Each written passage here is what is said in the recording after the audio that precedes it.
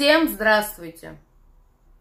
В данном видеоролике я хочу обратиться к некоторым армянам, которые, воспользовавшись ситуацией между Россией и Украиной, постят бредовые видеоролики.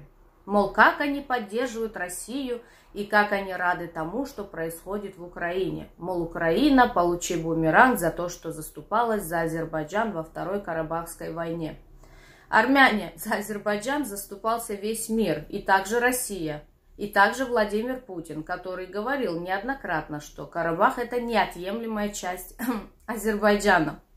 Вы, наверное, забыли это. Армяне, они вы ли э, сжигали российский флаг в Ереване у посольства России? Это вы тоже забыли. Да, еще, кстати, армяне, не сравнивайте себя с азербайджанцами. Азербайджанцы – освободители своих территорий от оккупантов, таких как вы. Вы оккупировали территорию Азербайджана.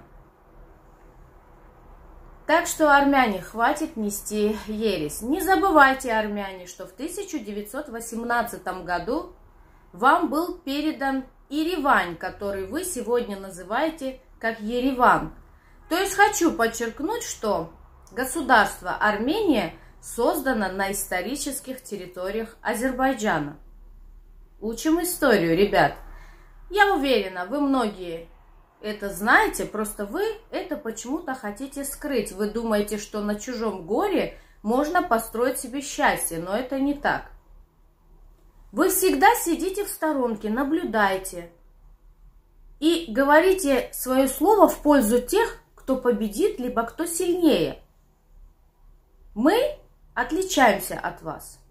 Мы, азербайджанцы, посылаем гуманитарную помощь в Украину. Мы признаем территориальную целостность Украины, но это нам не мешает подписывать с Россией взаимовыгодные,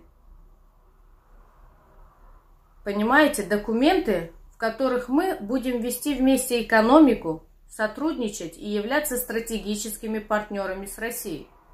Мы свое слово говорим открыто, мы не скрываемся. А вы всегда делаете все из-под тяжка. Вы же в ОДКБ. Почему отказались на государственном уровне посылать своих солдат воевать за Россию? Какой же вы союзник? Вы как поддерживаете? Словами в интернете? Хватит, а уже настраивать всех друг против друга.